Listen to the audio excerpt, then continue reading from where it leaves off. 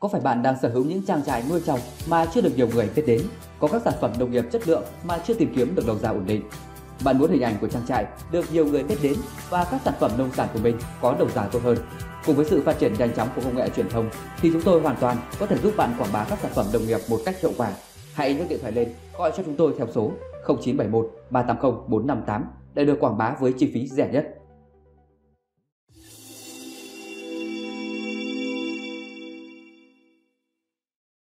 Xin chào quý bà con, hôm nay Nông Lâm TV sẽ gửi tới quý bà con những loại cây ăn quả Thái Lan có năng suất và chất lượng cao.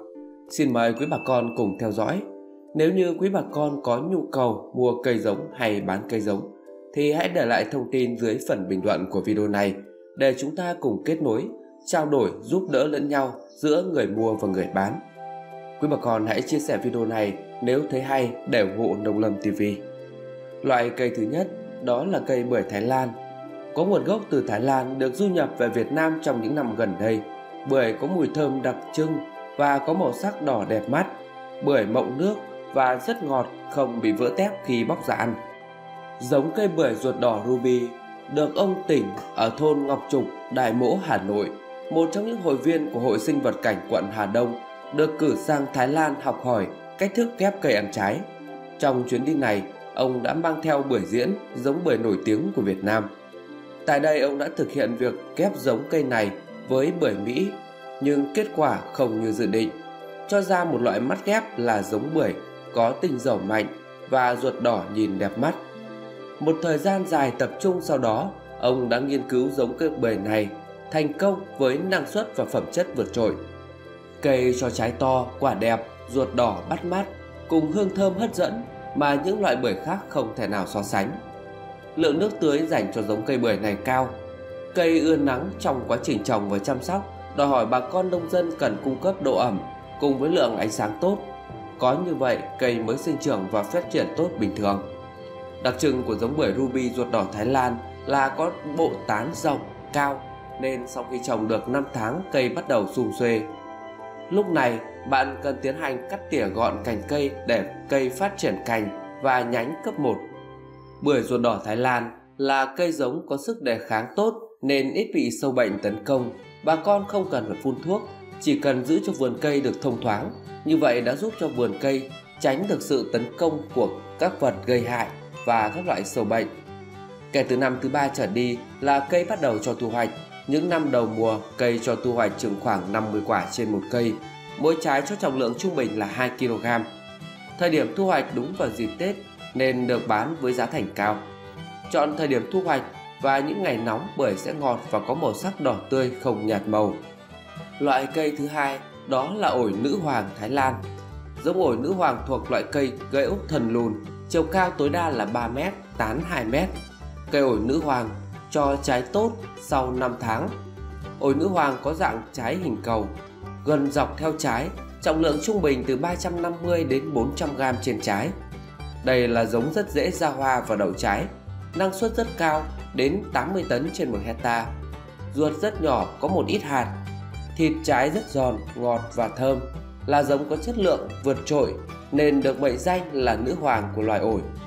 Ổi nữ hoàng là giống ổi mới, quả ăn rất ngon, trái to, ít hạt, năng suất cao. Có thể nói đây là giống ổi ngon nhất hiện nay. Cây trồng sau hơn 6 tháng là cho quả. Trồng ổi nữ hoàng Thái Lan cho thu nhập cao. Đây là giống cây ổi triển vọng có thể thay thế các giống ổi khác trên thị trường. Ổi thích khí hậu ẩm, nếu lượng mưa hàng năm trung bình từ 1.500 đến 4.000 mm, phân bố tương đối đều thì không phải tưới. Bộ rễ của ổi thích nghi tốt với sự thay đổi đột ngột độ ẩm trong đất. Nếu trời hạn, mực nước ngầm thấp, ổi có khả năng phát triển nhanh bộ rễ cắm thẳng đứng xuống đất ngập từ 3 đến 4 mét và hơn. Nếu trời mưa nhiều, mực nước dâng cao, ổi đâm nhiều rễ ăn trở lại mặt đất, do đó ít bị ngạt, thậm chí bị ngập hẳn vài ngày ổi cũng không chết. Có thể lợi dụng đặc điểm này, chủ động điều khiển mạch nước ngầm bằng phương pháp tưới tiêu để cho rễ ăn nông ở lớp mặt đất nhiều mỏng mỡ. Ổi trồng được ở nhiều loại đất khác nhau, độ pH thích hợp từ 4,5 đến 8,2. Tất nhiên, muốn đạt được sản lượng cao nhất, chất lượng tốt nhất phải chọn đất tốt, sâu và phải bón phân đủ và hợp lý. Cần nhấn mạnh, ổi mọc được bất cứ nơi nào nhưng đó là chỉ nói mọc, còn cành lá nếu muốn có quả nhiều, chất lượng tốt, phải bón nhiều phân. Ổi không sợ gió, nhưng giống quả to, lá to khi bị báo lá bị rách, quả sẽ bị rụng. Vậy nên cần chọn chỗ khuất gió hoặc trồng hàng rào chắn gió. Cây giống ổi nữ hoàng được nhân giống bằng phương pháp nhân bản vô tính, hình thức ghép mắt hoặc chiết cành. Cây ổi nữ hoàng đủ tiêu chuẩn đem ra trồng là cây cao từ 30 đến 40 cm, cây ghép mắt ghép liền. Cành ghép có lá mầm, có lá lộc lẩy rõ, chiều cao mối ghép tối thiểu là 15 cm. Chú ý khi trồng, chỉ để từ 2 đến 4 mát mầm là tốt nhất. Loại cây thứ ba đó là chanh Thái Lan. Chanh Thái Lan có đặc điểm vỏ xù xì, nhiều nếp nhăn giống bộ não người. Chanh Thái, chanh não người có mùi rất thơm, mùi thơm đặc trưng đã từng gây ấn tượng khi được sử dụng làm gia vị cho món tôm yum của Thái Lan nổi tiếng khắp thế giới. Khi du nhập vào Việt Nam, chanh được trồng nhiều tại các tỉnh như An Giang với tên gọi thân mật là trúc hay trúc. Những giống cây như loại chanh thông thường, chanh thái. Chanh hình não người được dùng để uống nước làm gia vị. Đặc biệt, chanh thái có ưu điểm là thơm hơn các loại chanh thông thường nhiều lần, nên được các bạn nữ giáo diết tìm mua làm tinh dầu thơm. Chanh thái không chỉ có hình thù đáng yêu kỳ lạ mà khi chín, tép chanh, vỏ chanh đều chuyển thành màu vàng xanh rất đẹp mắt. Chanh còn thơm hơn các loại chanh thông thường rất nhiều, tùy vào kích thước to hay nhỏ và độ chín mà loại quả này được bán với giá từ 100 đến 200 nghìn đồng trên 1 kg. Mặc dù giá cao, nhưng loại chanh đẹp mắt này vẫn bán rất chạy. Có khi không có hàng để bán. Toàn cây có tinh dầu rất thơm nên được ứng dụng rộng rãi trong nhiều lĩnh vực thực phẩm, dược phẩm, mỹ phẩm. Loại cây thứ tư là đu đủ Thái Lan.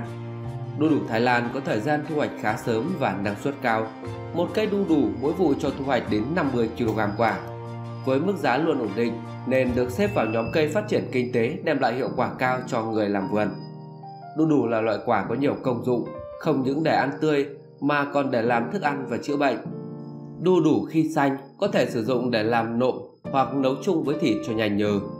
Đu đủ Thái Lan khi chín dùng ăn tươi và để làm các loại mứt, sinh tố và nước ép hoa quả. Không chỉ quả mà lá và thân của đu đủ còn được dùng làm các vị thuốc chữa bệnh khá hiệu quả. Do là giống cây nhiệt đới nên đu đủ Thái Lan thích nghi tốt trong điều kiện mưa ẩm, đủ ánh sáng. Đu đủ Thái Lan khá nhạy cảm với nhiệt độ, nhiệt độ quá thấp hoặc quá cao cây sẽ phát triển kém và cho ít quả. Giống đu đủ Thái Lan có khả năng ra quả quanh năm như một số loại cây khác không bao giờ ra quả và ít trái. Chính vì thế mà để trồng đu đủ có năng suất cao, bạn cần phải bố trí trồng đu đủ vào mùa mưa khoảng tháng 6 tháng 7 hàng năm là phù hợp nhất. Lúc này, lượng nước cây dồi dào, cây phát triển tốt mà cần ít công chăm sóc. Hiện nay giống đu đủ Thái Lan được trồng nhiều ở nước ta đều được phân bố bằng các biện pháp nhân giống vô tính. Cây con giống được giữ nguyên tính trạng của cây mẹ, năng suất cao và ít sâu bệnh. Bạn cần chọn những loại cây giống bố mẹ khỏe mạnh, không bị sâu bệnh, đặc biệt là có đủ các bộ phận. Loại cây thứ năm đó là chuối Thái Lan. Chuối tây Thái Lan có xuất xứ từ nước bạn Thái Lan. Nhiều nhà vườn cho biết giống chuối này có nhiều ưu điểm hơn hẳn giống chuối thông thường. Không chỉ bởi chất lượng quả mà còn do chúng dễ trồng, dễ chăm sóc và ít sâu bệnh. Chuối Thái Lan là giống cây ăn quả, thân giả có như chiều cao khoảng 4 mét. Chuối có tàu lá dài và rộng bản màu lá xanh. Do có nguồn gốc nhập ngoài nên có đặc điểm thân, hoa và quả nhỉnh hơn những giống bản địa của Việt Nam. Chuối Thái Lan có thời gian thu hoạch sớm hơn và thời gian thu hoạch cũng khá dài, từ 10 đến 12 năm. Chuối Thái Lan là giống cây có cho năng suất khá cao. Sau 16 tháng trồng cây sẽ cho ra buồng chuối. Mỗi buồng thường có khoảng 12 nải, trọng lượng khoảng 25 kg trên một buồng. Quả chuối Thái Lan có quả dạng thuông dài, đường kính mỗi quả khoảng 4 cm. Khi chín, quả sẽ chuyển từ màu xanh bóng sang màu vàng tươi khá đẹp mắt.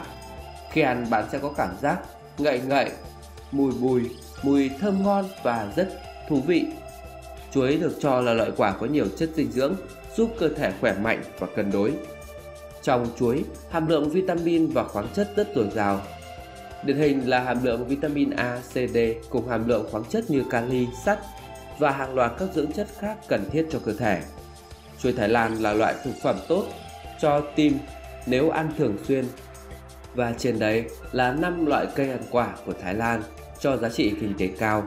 Quý bà con có thể tham khảo và học hỏi để nâng cao thu nhập cho gia đình mình.